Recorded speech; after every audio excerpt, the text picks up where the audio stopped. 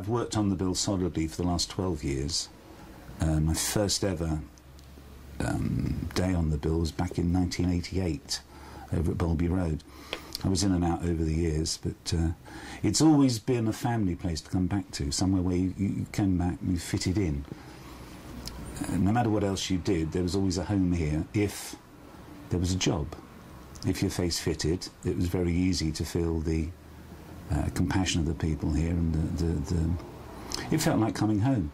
Every time you came back to the bill, every time you came back to work on an episode of the bill, uh, it was like putting on a, a, an old pair of gloves, something that fitted. You knew what you were doing, you knew what everybody else was doing, and you knew what was wanted of you. And everybody's working in the same direction to try and turn out a show that was the best we possibly could in the time and for the money we had. And certainly in the early days, the um, the camaraderie and in sometimes the competition between the units was fantastic. I can remember Vans trying to race back to base because the directors wanted to beat the other director back to the main set.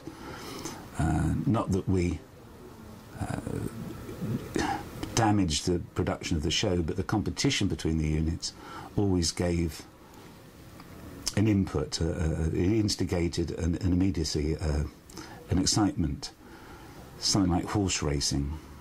And certainly some of the old directors were very, very competitive in, in what they were doing. And um, that made for entertaining work. I think one of the, the important things about the bill has been the characters that have been through the doors. I mean, everybody's aware that the, the cast characters that everybody remembers from the old days, but we've had a plethora of industry people, people who, who were, were individual characters in their own right uh, directors, producers, first assistants, um, all of whom left their own touch of magic on the show. In some cases, a touch of madness as well. Uh, I think the, the, the, the process by which we make the bill has tended to lend itself to people who are a little bit uh, less um, authoritative in terms of how they worked are a little bit more off the wall.